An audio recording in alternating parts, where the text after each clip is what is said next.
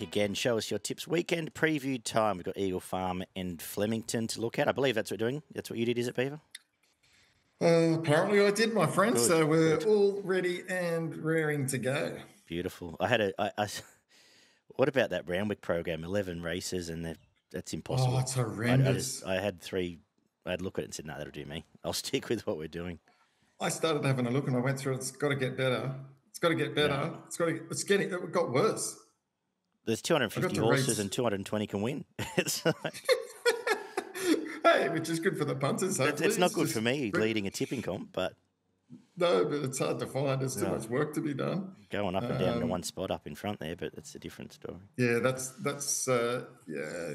They might win with uh, uh, not a lot of form to go by in some of those cases. So uh, yeah, we'll see how we go anyway. But uh, lucky we're not uh, down and dirty in the Randwick cut. No, at some point we'll get back there once we get to the early spring. So a month or so we're back to Sydney. But for now, we'll stick to the meetings. We've actually in a preview, which the first of which is Eagle Farm Oaks Day. Rail 2.5 metres. Weather good. I think it's currently soft, but it should be a good track. Thought it played pretty well last week. Uh, the, yeah. the problem is the backup. We'll see, but I can't can't knock the track at all. I thought they'd be outside, but I think it was all pretty fair. I think outside gate's still in play here, but interested to yeah. see what you've come I, up with. I'm not. I'm not as I'm not as convinced as you are that it was that fair. I think you it had to be outside, more in the front though. half yeah. of the field. I think if you got too far out of your ground, it was going to be always hard to make up yeah. too much ground. Um, and certainly they seem to come down the middle of the track. Yeah, but it wasn't um, outside fence yet. No, but it wasn't outside fence yet. So, yeah. yeah, and you're right. It's probably going to play fairly similar um, as it has. We kick off with an 1810 metre benchmark 90. Uh, and how are you going to start the day here? Yeah, interesting way to start the day here, but I'm going to go for the Princess, number seven. Um, Rahayanis. Uh, I thought uh, two runs in this prep have been pretty good. Um, first up, uh, ran third in uh, a listed race behind Philosophy, uh, which was pretty good form, and that was that was a nice run to start off, and then back that up. Um, not far off. I'm in the Group Three at Doomben uh, a couple of weeks ago behind Maracana. I think it now gets to peak fitness. I think this is uh, an easier race than what it's been racing in. And Gate Five looks good. J Mac aboard, uh, got it on top. I do too. It, it, and she's never been one of mine, so to come up with a uh, maybe says something look, as you said, finishing on the heels of Thalassophile and um, the other half decent race, I think dropping to this grade looks pretty well. I think a drier track will set up well for as well. Third up with J Mac going on, who spoilers, I think I'm tipping to win about eight races tomorrow. Uh, it, yeah, she's right in this. If she doesn't win this, I don't know where she wins again. Age of Sales a danger. First up, second prep in Oz will run well. Take up a spot. Trials are fine. And if you're looking in exotics here, old mate Wapiti's going around again, and Evocateur, not a lot of luck last time. Both the 20s might be ones for you, trifectas and such. The second is a 1200 metre class six. Uh, we've lost a few already.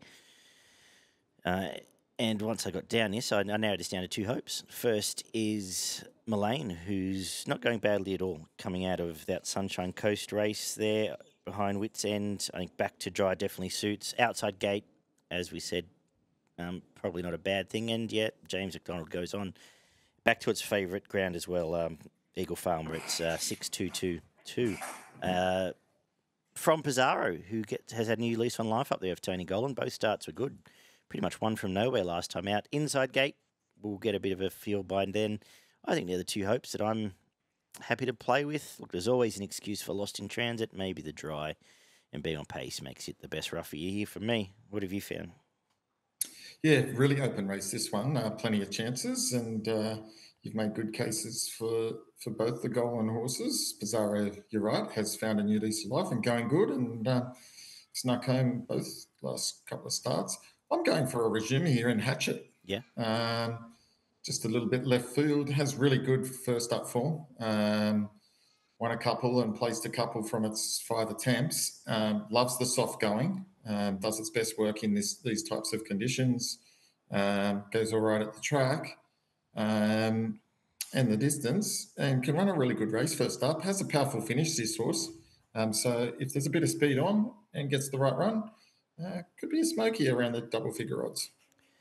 Beautiful. Gets uh, the services of Vlad Duric, who once this carnival's over, I think you can follow him up in Queensland weekly because he's a world class jockey and setting up home there now. So um, we've seen him and Michael Rodd make their way up there. I think once we get out of proper carnival time, both worth following. Uh, the third is a 1500 metre, what are we 1500 metres for the two year olds actually. Over da, da, da, where I had, I came up with the race in market order. I, I don't have too many tricks here. Emilius was very impressive last time out. Goes up there, finds the right race. Maybe a bit short. Um, nothing here I want to really stamp as a bet. Even what I thought would be a nice roughie, Duke Calzini coming off Goulburn. Um, the market's found at third pick, I think. So, yeah, I can't really find anything too crazy to talk about apart from his favourite. It's going to be hard to beat. And as I said, Duke Calzini, Imperialist, both chances, as the market said. What have you come up with? Yep, I think you're right. I think the favourite here, Amelius, is the horse to beat. Um, on the improve on the way up, and uh, yep, maybe a little bit skinny, but I think it's got uh, the edge on this company given the exposed form. I, I did have the main danger as imperialist. I think that's it, it shows the one uh, potentially for me with the most upside.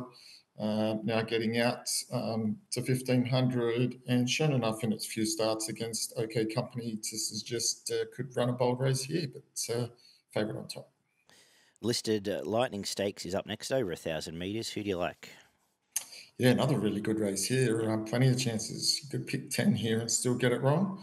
Um, I'm going for another resumer here, shooting for gold, uh, the top weight. I think it's the class horse of this field, hence why it's the top weight. Um, again, I like it because it does fly well um, fresh. Uh, first up, never been out of the placing in seven attempts.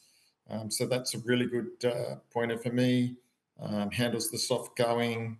Uh, it's got J Mac aboard and got the wide gate, but possibly come in a couple here. And again, um, just got uh, maybe at the price, uh, good bet. I kept coming back to it as well. It and the stablemate, I think, are both live chances here. They're both eight. Well, one's eight, one's nine dollars on what I'm looking at here. Uh, stablemate being Shalars moment that keeps going through the grades, but shooting for gold. All the reasons you've said, and the trial was nice as well. Uh, my concern is a lot of the pace are in the emergencies. So if they all come out and Golden Boom gets a really soft lead, obviously hard to beat was very good sitting outside lead first up. But I agree. I think at the each way, shooting for gold, a, a great bet here. No, I think the emergencies probably get to start. Although oh, Natuna, um, Natuna's been scratched and Navis 2 has been scratched. And Vodka Martini is in later as the well. Race before. The race oh, before, so she's been scratched. Yeah. Okay, so she's Two races here. before second. Yeah, yeah. But that hasn't been scratched from either yet. Okay, could go one way or the other because I think yeah, it, Flaming Conquest, Vodka Martini, and uh, Economics were a lot of the pace outside of that other leader. But anyway, the fifth is the Spear Chief handicap, a listed race again, and uh, it's another horse here. Yellow Brick doesn't win this, I, I don't know where it goes.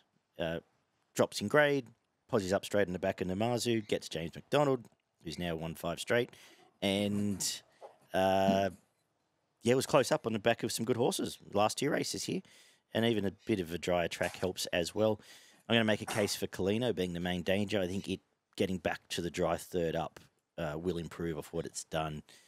Uh, Watagos has to springboard off its last one, but I thought that was a, a pretty soft race at one there. What are you thinking? Same, I'm going the same way as you. Yellow brick here for me um, gets the right draw now. Um, shouldn't be three wide um, like it has been um, in the two runs to date. Um, as long as that hasn't taken too much out of it, third up should be at its peak. Gate three is perfect. Um, yeah, this is D Day. Absolutely. The quality kicks and off. You're right. Yeah, going. Colino. I think Colino again uh, gets uh, to peak fitness here and can run well. Quaddy kicks off with the Queensland Day Stakes over 1,200 metres. Hedged comes up short. Uh, have you gone that way, or have you accepted that perhaps it's just a cat? Well, I and not accepting it at the two dollars, No. uh, you know, seven to No. four, seven to four ish price. I just went for looking for a little bit of value here. I come up with two, um, and you'll laugh at me, but I've gone for Genzano. Of course you Um, have. Hang on. Yeah, I thought I thought the twenties. Keep going. No, I don't have my alarm back yet. I thought the twenties was pretty good uh, for this uh, first up. I thought that was a, a fairly handy run uh, behind Tiger Shark. Got back, finished off quite nicely. Uh, had the gate, had the ten barrier. I think uh, here Posse's up nicely here, and with extra fitness can run well. So I, I did have it.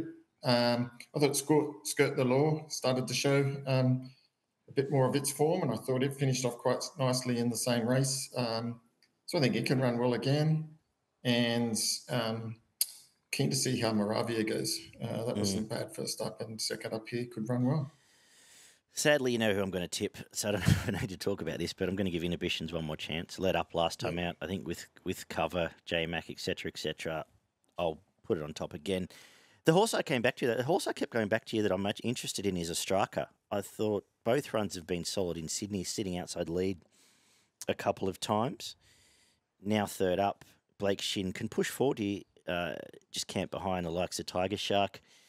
And we saw Jewelry come out of that race last week and brain them in Melbourne. So double figures and Stable's absolutely flying now. It is genuinely flying. It had three or four winners in Queensland on Wednesday. So 11 bucks will make a striker a bet uh, from Inhibitions as well, uh, as said. And I do agree with your chances. The seventh is the Mares Classic Wait for Age uh, group. No, not even groups, just a five hundred thousand dollar Wait for Age uh, race here. Uh, my best on the card is La Crique. It uh, would be a complete moral if it, if any rain does come, but it might still be. Uh, these are all sort of B grade mares, B plus grade mare, and this is just above that. I think an A grade mare. Last time it was at a mile. Wait for Age. It beat Agon, and uh, it's never missed a place. Second up, gets a great run on top. The rest of these, yeah, take your pick for dangers. Uh, Zoe's promise a little less enthusiastic up front can improve at 17 bucks there. What are you thinking? Same, same, all day. Uh, you're right. I think it is the best bet on the card. Uh, La, La Crique, um, yet should be winning. Lovely. This money's going to come for it. it. It'll start evens. Yeah, yeah. This this is a proper proper mare. Uh, the eighth is the Queensland Oaks, 2200 meters. Uh, and you can have your first crack at this one. Yeah, look, um, what can I say? I can't go past Scarlet Oak. Yeah. Uh, had it the last two starts. I don't think the 2200 poses a problem. Gate 15, uh, maybe a little bit tricky, but might come in a couple. Um, as long as JMac can posse it up okay, I think we'll, um, and it doesn't have that too hard a run, won't matter as long as in the running line. It'll look like winning somewhere in the straight uh, in the 200s. Uh, got it on top. Um, I think Molly Bloom can obviously run well. I think third up now here in Australia. I think that you couldn't rule it out. And uh, I love the way that uh, Mayor of Mount Bull is going. I think it's uh, I think it's a genuine hope to be honest. Um, the other one of the other Waller horses. Um, so that's the way I, I see it. Yeah, I, I I'm not knocking any of the favourites. If you like the favourite, especially Scarlet Oak, cool, go for it. I only missed Moonlight Magic by eight lengths, getting a thirty dollar winner last week. Uh, so, uh, quick backup. I think back to Mare's grade will run well again. 15s. I'm going to put it on top again. He has had the 2400 meter lead up. I'm going to have a peanut on Unique Ambition at a big price. Uh, because it's a John Sargent three-year-old, and the same with Kind Words, who didn't have a lot of luck last week. I think I think sometimes we get Oaks go one or two ways, and this will sound dumb. Either the favourites really step up, or a lot of them fall over, and we get a, a blowout. So, going to play for the later, but I wouldn't. This isn't somewhere I'm going to plant my flag. I just think Scarlet Oak might piss in. Otherwise, we're looking at a at a, a value play, and that's the way I'll, I'll see the race. The ninth is the Moreton Cup uh, Group 2, 1200 metres. And I don't particularly like Gate 1 here, but I've gone with Insurrection on top. I thought the resumption under 60 kilos was pretty good. Drops in weight here. Was pegged back to the inside at uh, Scone there, and I think can improve. Flies second up actually. Zach Lloyd, a bit of a new lease on life of late. At nine dollars, it can go on top from Valana, who didn't get clear air last time out. Uh, now third up, gets J Mac, who's will be gunning for nine straight here, and is the main danger. Who have you come up with? Yeah, good good race to finish the day. It is. Um, I thought both the ones that you have called out there were genuinely good chances. Um, I just went for a bit more value. I went for what you need. Yeah. Um, Okay. At the double figure odds. Uh, three runs in this, but you know, obviously not the same horse it was prior to to this to the break, but I think it's building. Um, you know, it's uh, last start was in the Group One Goodwood. Um, it was only a couple of lengths behind Benedetta. This is this isn't as strong a race as the as the Goodwood, being a Group One, and I thought that was pretty that was a pretty fair effort there. And prior to that, um, in in other Group races, were was only a sort of a long neck off some good horses as well. Um, we know it's got ability. Um, if it produced its best, or was producing its best from last prep, it'd be favourite in this. So um, I'm, I'm going to spec it um, at the 12, probably get 15s, um, and going to have it on top. Good shout. Um, and you, you mentioned building it. That was off a year off. That that was a proper. I don't know if it was an injury, but it was a long, long break. So, um, yeah, perhaps a nice rehab prep and, and good call there. Uh, the other one that will improve back to dry Zarastro. I think it's been suited by the wet stuff we've had of late. Quaddy time from Eagle Farm, first leg. We'll go. I'm going to throw hedged in two, one hedge, two Moravia, four Ostraka, six inhibitions. Seven Tiger Shark keeps winning, so I'll throw it in. Uh, Beaver fans can add Genzano if they like. Second leg, one La Crique, five Zoe's Promise, seven Fall for Cindy. Third leg, one Molly Bloom, four Scarlet Oak, five Moonlight Magic, nine Ahuriri, who comes through the Adelaide race, Warmonger does. 14 Kind Words, 16 Unique Ambition, and we'll come home with two. Uh, no, I'm going to leave Marzu out in put your one in instead. So three Valana, six Zerastro, eight Insurrection, ten What You Need, fourteen Lek Vate. A hundred bucks gets you about twenty eight percent. Just a shade off that. My best, same as Beavers, is race seven, number one, La Crique. My value race six, number four, Ostraka. What have you got for your plays here at Eagle Farm? Well, you know my best. You just told everyone. Yeah. Um, Sorry, so spoilers. that. No, that's all good. Um, love your work. And race nine, number 10, what you need is my value. Awesome.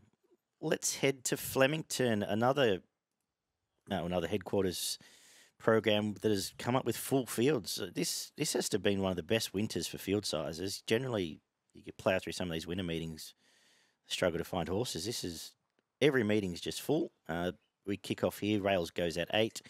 Soft track, some drizzle around, but it's not supposed to be anything too scary. And I've treated as standard Flemington. We kick All off. I can say is, thank God it's not Caulfield because that track last week was another Yeah, joke. that's that's been a joke since autumn because they keep. I think they keep overwater. I don't know what's going on there, but they keep overwatering it. That inside Just goes to show you how good the wind jewelry was because nothing else could make a skirrick of ground. I will say, in half of those races, it's because the jockeys down there are incapable of going any faster than my walking speed. Yes. Um, but uh, to that point, I've found leaders through here because I think there's a lot of races going to be the same. Um, but anyway, we kick off with the 1200 metres, and I'm going to tip the first leader on that note, which I think is going to be the blue colours. Uh, 1 1, Damian Lane jumps on Pisces. I think it takes up control. It's got the pick of the track from gate five. Uh, they'll uh, walk, it'll waddle off and win. Jump lead, win. That's it for me. Yeah, I think you're probably right there. Um, it was really hard to sort of get uh, too much line up on the others. I thought if there was a danger, maybe the three Super Nemo from the Moody Coleman stable um, could run well. I'm not great at lining up what those Pakenham and Cranbourne Yeah, form means. but sometimes they just take them there for a kill, Uh, right? uh, and, Um, and definitely Peter Moody does. But yeah, um, and so that's yeah. why I, I sometimes like just to chop out on some of these because you just don't know. absolutely. The second, and we've got one coming up actually, uh, we'll get to. The second is a 1400 metre benchmark 78. Who do you like here? Yeah, I did narrow this down to two. Um, More Mum, number nine, Mm. and Fancify, the four. I just went for the slightly better value in Fancify, third up. Um, thought it was a, a good run at Caulfield. Um, I'm just a bit worried that, again, it was leader and if that was leader bias, but um, I think it can run. A, I think the money came for it there and it, it did run really well. So I have got it on top, but super scared of More Mum. That was um, a really good second behind a good quality horse last start um, at odds, coming off a nice win at Flemington. So runs well this track and uh, has some ability. So uh, probably save on one and back the other. I'm a bit shocked at seven dollars. Fancify. I've got it on Me top. too. That's why. I agree. Yeah. I think it jumps, it walks, it leads, and probably wins again. I don't know what the other pace is, unless Bjorn's thing goes forward. Um, fairway start, because uh, if it gets that with the claim as well, uh, it could be off and go. And uh, the other thing is, obviously, it's harder to do at Flemington, but uh, I've got Fancify on top. I think Danger's more mum. Not much to add. The third is the mile, uh, a three-year-old race here, and I went down this field um, making cases for Rise at Dawn, freshened up, and the Shaper and this and that. And I got to Craig, and I said, "Well, this thing's going to just fucking blow them away," and stopped, and that was the race for me. Um, it, that was an impressive debut. I know, as I said, coming from some weaker stuff, but I think this might be a decent horse. Time was all right. Uh, it's on top from, as I said, freshened up number one. Who have you come up with? I did the same, and I was quite surprised when I saw the price Mm. around four dollars. I thought, oh, that's a nice little bet. Um, And it's still 380 with Bakota Chief out. yeah, that's right. So um, I got a clear on top pick. I couldn't find too many dangers, to be honest. So uh, no brainer for me. Happy days. The fourth is a 2,520 metre race. Who do you like here? Yeah, I'm going to stick with the favourite here, Quantum Cat. Um, interesting that they've taken it down to Flemington, looking for that extra distance. Um, 2,500 metre race. That was a good run last start. It was way out the back um, and made up really good ground along the inside um, in on a track that they didn't make up a lot of ground um, largely. So I thought that was an excellent run. I think uh, the, the interesting it's gone down to to Flemington, a couple of kilos less, got the right combination, Lane and Waller, and I think it's going to be super hard to beat. Absolutely. I think this is the kitchen sink job. Damian Lane goes on, found the right race. I think gate three doesn't that won't go as far back, second or third defence. If it gets there, I think it'll win.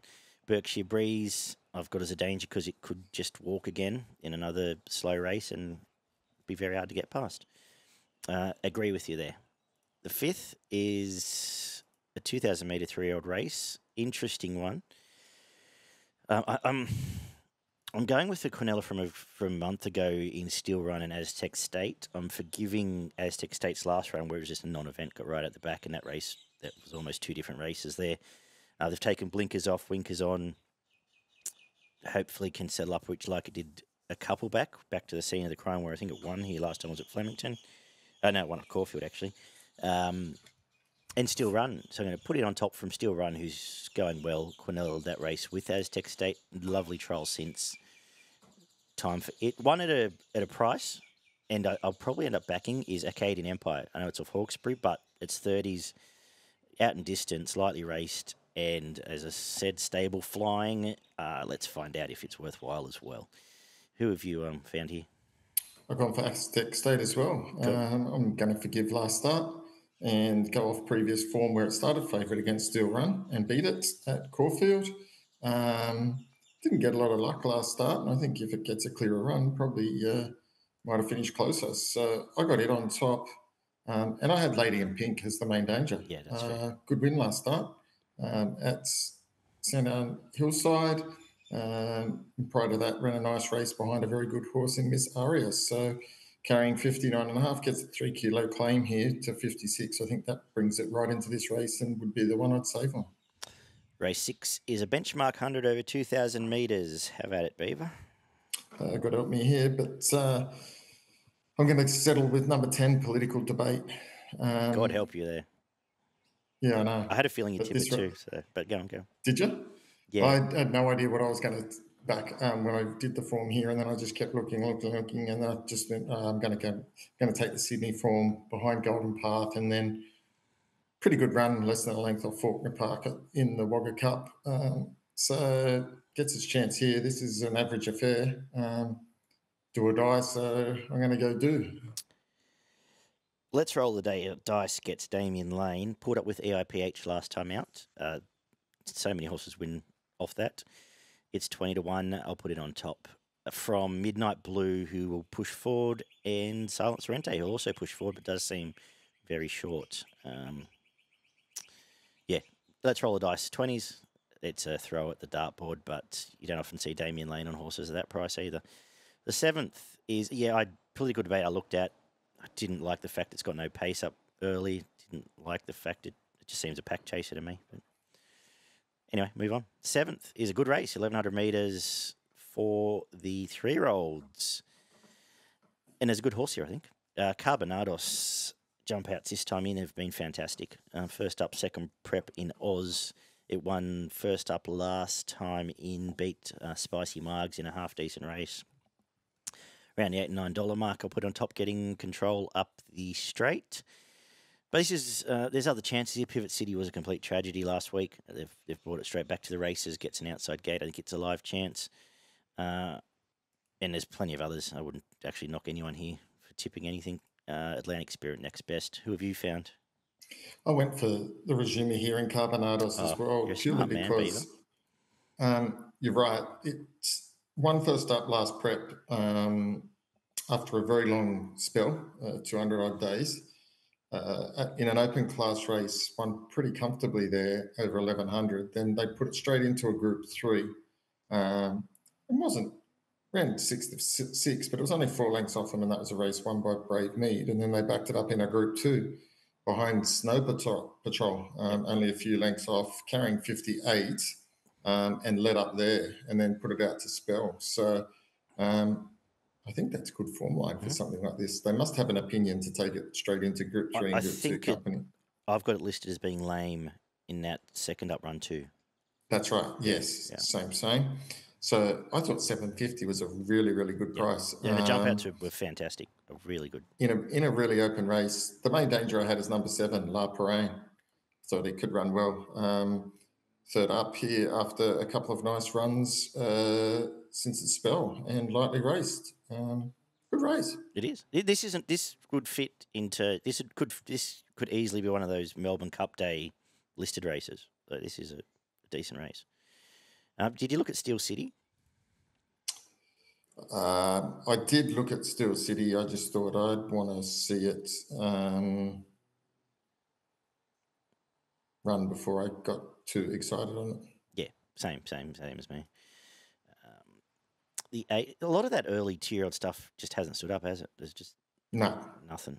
No, and there's no real trial form. It's 265 days. Yeah, since its spell. Just um, cop it if it, cop it yeah. if it wins. Had a couple of trials that didn't really do much in um, late last year. Yeah. So, yeah. No, all good. Uh, 1400 meter benchmark 84. Uh, here they all are. They've, all our mates are back again.